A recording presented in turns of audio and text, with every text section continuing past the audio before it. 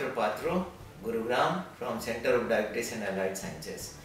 Uh, just let me tell you what is type 1 and type 2 diabetes that is going in your mind. Today people to ask कि doctor साहब diabetes कितने type के होते हैं आपके लिए मैं ये कहना चाहूँगा कि डायबिटीज़ टाइप 1 और टाइप 2 करके इलाज होती हैं लेकिन इसके अलावा तीन और तरीके के डायबिटीज़ हैं और मैं आपको बहुत सिंपल तरीके से बताऊँगा डायबिटीज़ कैसे आप समझें डायबिटीज़ की शुरुआत इंसुलिन की कमी से होती है। और अगर किसी के अंदर इंसुलिन बिल्कुल नहीं बनता है आई मीन टू से जो ग्लैंड है जिससे इंसुलिन बनती है, उसको पैंक्रियास कहते हैं। अगर पैंक्रियास आपको बोल देती है कि माफ़ करना भाइयों और बहनों, मैं और इंसुलिन नहीं बना सकती, इसका मतलब टाइप वन डायबिटीज़ समझ गया टाइप वन डायबिटीज़ मतलब आपकी पैंक्रियास ने बोल दिया, अब मुझसे कोई गलत फहमी मत रखना, मैं कोई इंसुलिन पैदा करने वाली हूँ नहीं। इसका मतलब आप टाइप वन डायबिटीज़ हो चुके हो। तो एक लाइन ऑफ़ मैसेज है, आपके अंदर अगर इंसुलिन नहीं बन रहा है, चाहे उम्र एक महीने का हो, या दस साल का हो, या पंद्रह साल का हो, या तीस साल का हो पचास साल का हो डायबिटीज़ की पता लगा, जिसके कारण, जिसका कारण अगर इंसुलिन नहीं बनना है, बिल्कुल तो वो टाइप वन डायबिटीज़ होता है। ज़्यादातर टाइप वन डायबिटीज़ बच्चों में मिलती है, लेकिन कुछ बड़ों में भी मिलता है। अब आ गया दूसरा, जो 90 परसेंट नाइन्टी परसेंट से ज़्यादा लोग जो डायबिटीज़ से संक्रमित हैं, वो है टाइप टू डायबिटीज़ ये टाइप टू डायबिटीज़ का मतलब समझते हैं it is nothing but a beta cell laziness अब बता देते हैं पैंक्रियस के अंदर एक छोटा सा स्टोर हाउस है। अब स्टोर हाउस के अलमारी में एक छोटी सी बोतल के अंदर इंसुलिन होता है। अब वो अलमारी के अंदर पैथ्रियस के आप इंसुलिन धीरे धीरे निकालते रहो आई मीन टू से आपकी पकवान में सही मात्रा में नमक, सही मात्रा में घी, सही मात्रा में मिर्च मसाला डालोगे तो टेस्ट अच्छा लगता है, खाना डाइजेस्ट होता है और मस्त होकर ज़िंदगी जीते हो। उसी तरह आपकी शुगर की कंट्रोल अगर सही मात्रा से इंसुलिन रिलीज़ होने से होती है तो आपका डायबिटीज़ कंट्रोल में होता है। वो आपकी बॉडी करती है। लेकिन आप लापरवाह हो जाते हो, ज़रूरत से ज़्यादा मिठाइयाँ खाते हो, उससे तो नहीं होता, लेकिन आपकी आदतें, जैसे एक्सरसाइज नहीं करना बे टाइम सोना, क्या फ़र्क पड़ता है? एक स्मोकिंग की जगह बारह स्मोक कर लो, है ना? और इसके अलावा थोड़ा घी वाला डाल के और थोड़ा खा लो। चावल इतना खाए हुए, उसके ऊपर मीठा भी खाना है आपको। अगर ऐसी चीज़ें खाओगे तो वो बेचारा इंसुलिन बोलेगा, भाई मेरे बहुत काम दे रहे हो, मुझे थोड़ा माफ़ करो। तो क्या होता है? पैंक्रियस थक जाता है और उसको बोलते हैं फिटीग पैंक्रियस जब पैंक्रियस थक जाती है, अचानक शुगर आ जाता है आपके शरीर में।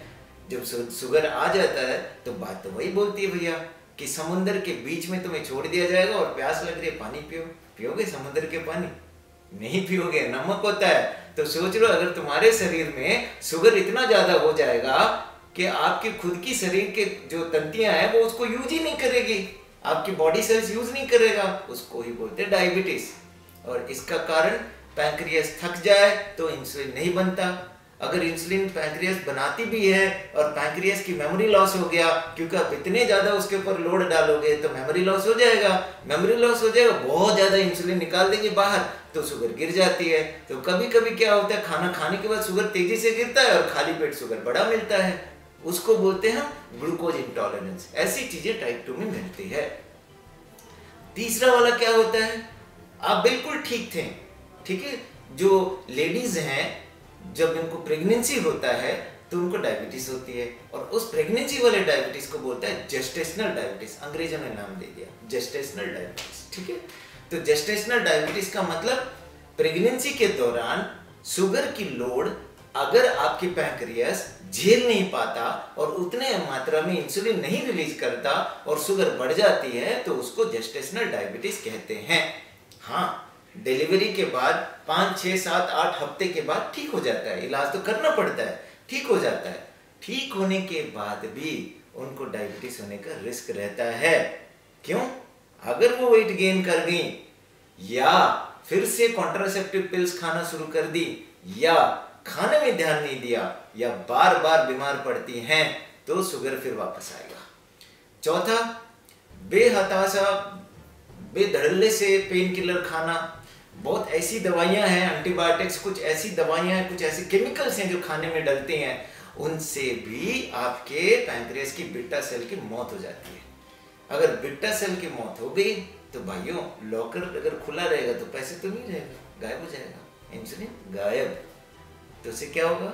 डायबिटीज़ वो ड्रग इंड्यूस डायबिटीज़ कहते हैं। और पांचवा एक ऐसा चीज़ बदकिस्मती से जब आपकी जीन के एक पत्ता खुल जाए और उस पत्ते में लिखा होगा कि ढेर सारे एंटीबॉडीज बन जाए। एंटीबॉडीज का मतलब वो ऐसी प्रोटीन्स होते हैं आपके बॉडी के अंदर छोटी छोटी साइज़ की जो आपकी इम्यूनिटी को बढ़ाती हैं। लेकिन इम्यूनिटी की जगह अगर वो उत्पाद मचाए, आप ही के पैंक्रियस के बिटा सेल्स को मारना शुरू कर दे तो उसको बोलते हैं auto immune diabetes auto immune diabetes अक्सर थायराइड के साथ भी आ सकता है किसी को ऐसी बीमारी होती हैं, जैसे एस हो गया स्किन की बीमारी हो गया, किसी को एंकलोजिंग स्पॉन्डिलाइटिस है, किसी को जोग्रेन सिंड्रोम है, बहुत चमड़ी पे, आँखों पे किडनी पे ऐसे असर देता हुआ जो एंटीबॉडी वाले बीमारियाँ होते हैं, जिसको ऑटो इम्यून डिसऑर्डर कहते हैं, उनमें बीटा सेल मरती हैं तो उनकी डायबिटीज़ को ऑटो इम्यून डायबिटीज़ कहलाते हैं।